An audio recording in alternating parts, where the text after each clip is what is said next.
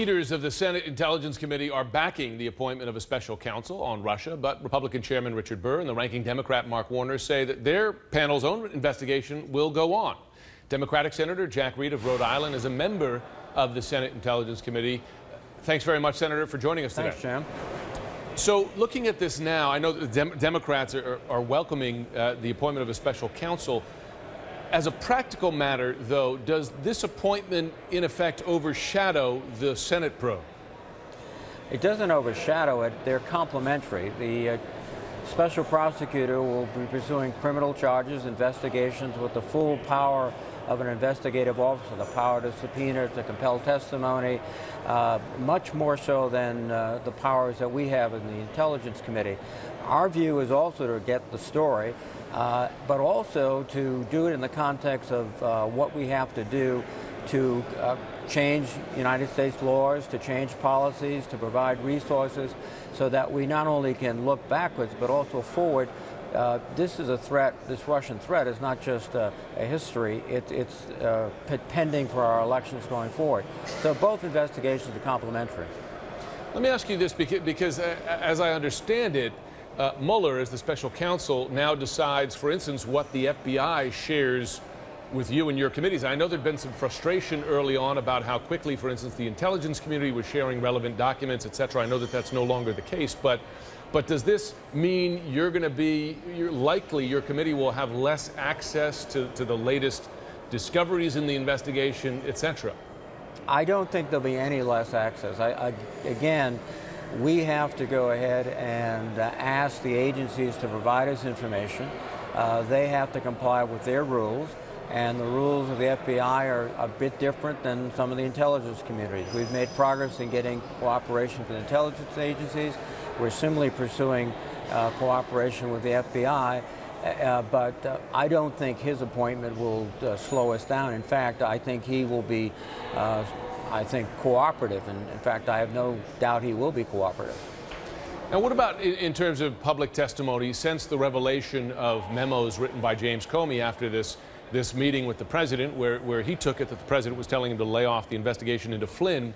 Uh, great interest in his public testimony, including before your committee. Have you heard from the former FBI director? Has he answered your request to come testify? What I have heard is through uh, the chairman and the ranking member that he is very much interested in testifying. The question is the appropriate time. Uh, but my sense is, again, through uh, uh their uh, comments, is that this is not a question of if, but when. Okay. And, and the fact that there's now a potentially criminal investigation underway would not prevent him from coming before the Senate to give public testimony about this? I don't think it would prevent him. I think it uh, it might uh, circumscribe the, the detail or the questions that he could deal with, but uh, he is, again, a very knowledgeable lawyer himself, and I don't think he would do anything that would either jeopardize the, the an ongoing investigation or uh, in some, play, some way complicate the, process of justice.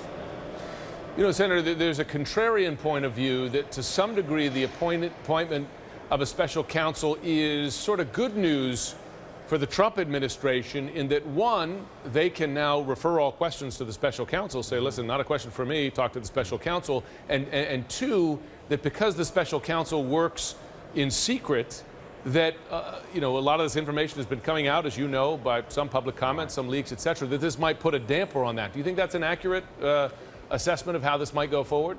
Well, that might be a possible consequence, but I think the, the best news is for the American people because they were increasingly uh, worried about the direction this investigation was taken. Would it be partisan? Would it be a series of uh, accusations back and forth? And now with Director Mueller in charge, I think everyone can have confidence that there's a professional with great integrity who understands the FBI very well, who understands the criminal justice process very well, and who I believe is committed to uh, following the facts and the law to uh, the appropriate conclusion. So I think that's the, the, the, best outcome that's taking place here, and it's a good one.